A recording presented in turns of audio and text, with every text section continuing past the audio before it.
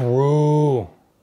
Hey everyone, thank you all so much for the 304 subs on this channel. Pretty nice Christmas, happy Christmas gift from all of you. So thank you all.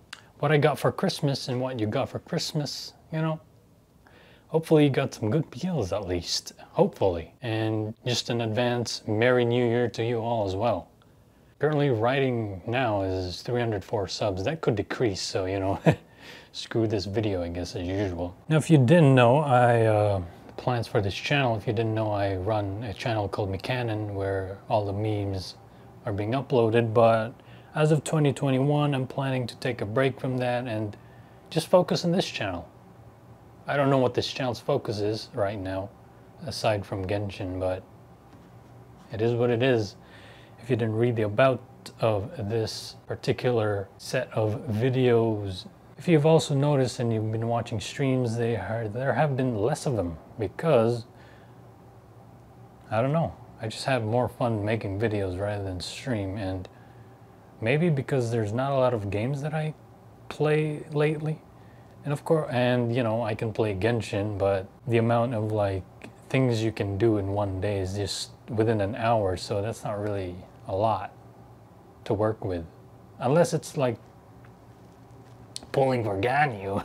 I'm, I'm doing this because of how wide her whips, uh, whips. Because of how high, because of how wide her whips is. Because of how wide her hips is. Because of how wide her hips is. Because of how wide her hips is.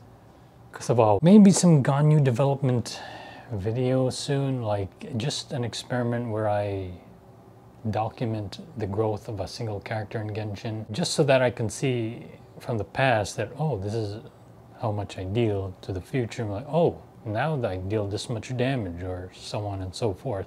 I'm not really much of a meta person, but you know, if they deal damage, it's nice to look at. As for figure cinematics, I really want to make them, but one, I'm still waiting for a new lens, and two, because of Covido Novido, I haven't really had a chance to get any new figures, so I might just I'm planning on recycling, I'm using, or reusing a figure with a different variant and some Nendros I haven't made videos of, so that's my plans. So yeah, that's all for this video really. Less videos of McCannon, maybe less streaming more videos here.